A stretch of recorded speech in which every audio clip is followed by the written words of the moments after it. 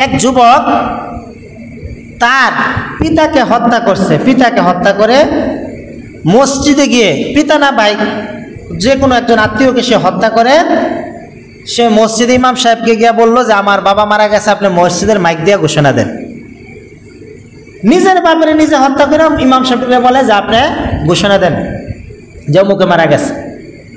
তাহলে কি তার বিবেক আছে? তার বিবেক নাই। তার জ্ঞান বুদ্ধি লোপ পেয়েছে, মদ পান করার কারণে।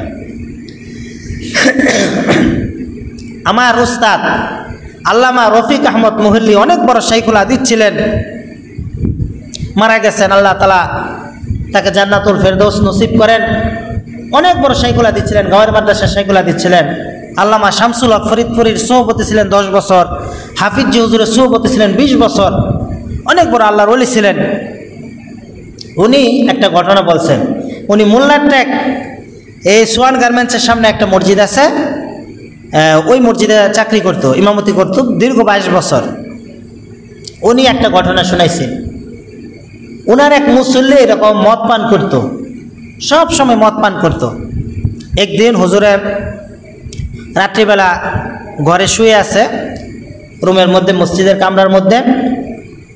এই একটা, রাত একটার সময় আসছে আইসা হুজুরকে ডাকতেছে, হুজুর, উঠেন উঠেন। এরকম ডাকতেছে হুজুরকে। হুজুর তো বুঝতে পারছে যে হুজুর অমুক মুসল্লি, জানে হুজুর আগে থেকে সে মদ পান করে। ডাকেই বুঝতে পারছে সে খাইয়া আসছে একটা কিছু। বলতেছে ওঠেন এক তো হইল মসজিদ কমিটির গুরুত্বপূর্ণ পদে আছে, আবার মদ খুর উল্টাপাল্টা করলে কোন কি কি কাজ করে বসে ঠিক নাই। ও পাঞ্জাবি গায়ে দেন। আমার সাথে চলেন। অনেক দিন ধরে আপনারা দাওয়াত টাওয়াত খাওয়াই না। আজকে আপনারা দাওয়াত খাওয়াই মু বাসায় নিয়ে। হুজুরে তো বুঝতে পারছে যে সে মদ খাইছে। বাসায় গিয়ে একটার সময় একটার সময় হুজুরে দাওয়াত খাইবার লেগে গেছে। বিবিরে ডাক্তার এই, দরজা খোলাও। ঘরে কি আছে? ক, ঘরে কি থাকব? একটার সময় কি থাকে? সব খাওয়া শেষ। ক, যাও, চারটা ডিম বাচ্চা হুজুরে লেগে নিয়ে আসো। একটা মানুষের কি ভাই চারটা ডিম লাগে? চারটা ডিম বাইজা নিয়ে আসে হুজুরের জন্য। তারপর হুজুর খান, আপনার অনেক দিন ধরে দাওয়াত করে খাওয়াই না ভালো মন্দ খান। হুজুরে বলল যে, ভাই, আপনিও দুইটা নেন। না না না, আপনি খান। কি করব? কষ্ট মষ্ট করে খাইছে চারটা ডিম। ফ্রিজের মধ্যে যত গোস্ত আছে সব হুজুরে দিয়া দেও।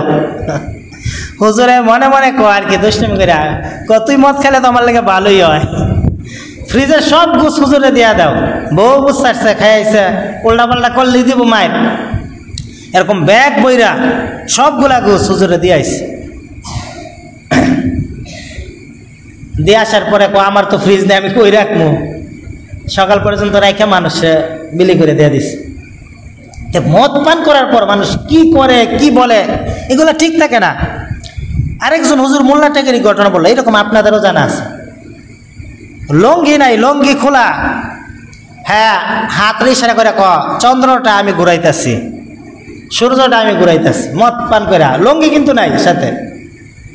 এইরকম মদ পান করার পরে মানুষ, এমন কোনো গুণার কাজ নাই যে তার দ্বারা সংগঠিত হয় না। নিজের মাকে খুন করে, সন্তানকে খুন করে, ভাইকে খুন করে, আপনজনকে হত্যা করে এরকম অ্যাভেলেবেল ঘটনা ঘটতেছে।